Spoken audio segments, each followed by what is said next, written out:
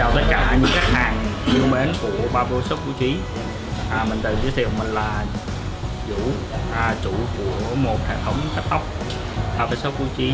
Thì à, nhân dịp à, Noel cũng như là năm mới sắp đến thì Barber Shop Phú Trí xin kính chúc những quý khách thân yêu một năm mới an khang thịnh vượng và một mùa Giáng sinh thật vui vẻ. Hello, toàn thể anh em Barber Shop Vũ Trí 7 chúc uh, sư phụ, hai sư phụ, thầy, cô và toàn thể khách hàng có một mùa Giáng sinh thật là ấm áp và Happy uh, Christmas and uh, Happy New Year cô Mỹ phát tài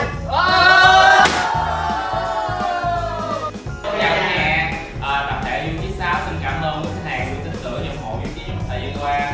Chúc quý khách Giáng sinh an lành, năm mới an khang thịnh vượng, sự phát tài. Merry Christmas!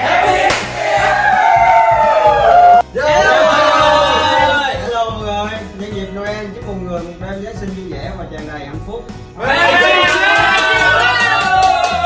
Barber Shop Vũ Trí Bình Tân xin chúc quý khách có một mùa Giáng sinh an lành và năm mới. An khang thịnh vượng Barber Shop Vũ Trí chi nhánh 1 Ờ, xin chân thành cảm ơn tất cả khách hàng một năm mới vừa một năm vừa qua đã ủng hộ.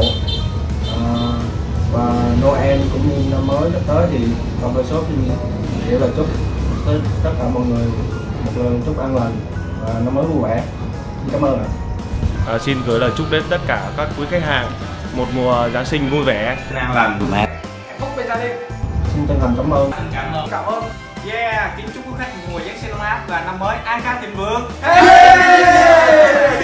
yeah! yeah! yeah! Hello mọi người chúc mọi người có một Giáng sinh vui vẻ và một năm mới tràn đầy hạnh phúc yeah!